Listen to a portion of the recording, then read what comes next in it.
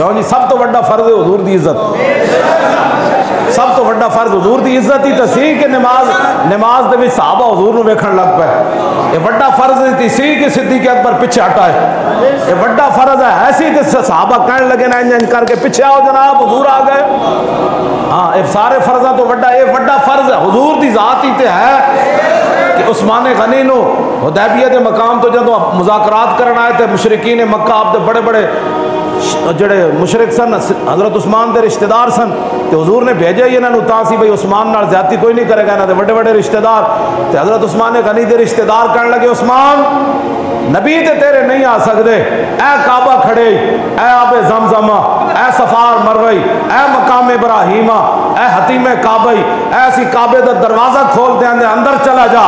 عثمان غنی فرمان لگے، میں نو جان دیو، عثمان کھڑے آ تواڈے سامنے۔ عثمان کھڑیا، کوئی چودویں صدی کا مسئلہ تھوڑا کھڑیا۔ کیوں جی؟ ہاں اے عثمان کھڑیا۔ فرمایا، عثمان جب تک حضور نہیں آئیں گے، کعبے کا طواف نہیں کرے گا۔ کعبے کے اندر بھی داخل نہیں ہوگا۔ اور جناب صفا اور مروہ کے درمیان بھی نہیں جائے گا۔ اور حضرت اسود کو بھی نہیں چومے گا عثمان۔ ہوں سمجھ آئی گل؟ سب تو بڑا فرض کے وے؟ بخاری شریف موجود ہے۔ کہ جدو عثمان غنی اتنے چلے گئے نا تو بعد کچھ صحابہ نے آپس گلا کی عثمان کتنا خوش نصیب ہے آب زمزم پی رہا ہوئے گا، فلان پی رہا ہوئے گا۔ جب عثمان غنی واپس آئے نا تو آپ نے فرمایا ہوئے بڑا غلط تسی میرے بارے سوچیا۔ فرمایا، اے تے چند دن سن نا، عثمان سال بھی مکے چ رہندا تے حضور تو بغیر کعبے دا طواف نہیں سکھا مولا علی نے واری تیری نیند پر نماز، ناموس پر نہیں۔ حضور آرام فرما رہا ہے، مولا علی اینج بھی نہیں کیتا، نماز اثر جا رہی۔ اعلیٰ حضرت فرمان ہیں، مولا علی نے واری تیری نیند پر نماز۔ اور وہ بھی اثر جو سب سے اعلیٰ خطر کی ہے۔ بلکہ صدیق غار میں جان ان پہ دے چکے۔ اور حفظ جان تو جان فروز غرر کی ہے۔ فرمایا، ادھر نماز دیتی، حضور دی نیند ہوتے۔ صدیق اکبر جان دے دیتی۔ سب تو بڑا فرض ہے جان بچانا۔ فرمایا، یہ جان دے دیتی۔ ہاں تو نے انہیں جان دی، انہیں پھیر دی نماز۔ مولا علی واسطے حضور نے سورج واپس لوٹا دیتا۔ اور صدیق اکبر جتھے زہر سپ لڑے آپ نے لوہا دان لایا۔ اور سب زہر دا اثر مک گیا۔ ہاں تو نے انہیں جان دی، انہیں پھیر دی نماز۔ پر وہ تو کر چکے تھے جو کرنی بشرط کی ہے۔